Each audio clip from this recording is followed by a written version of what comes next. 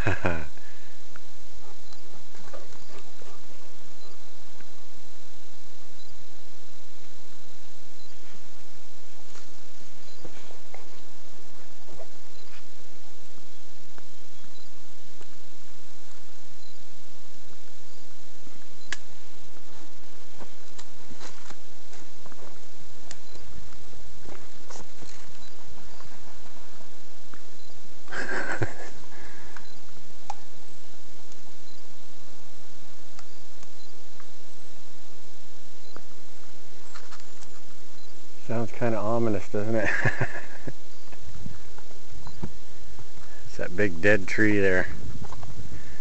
It's leaning up on that other one.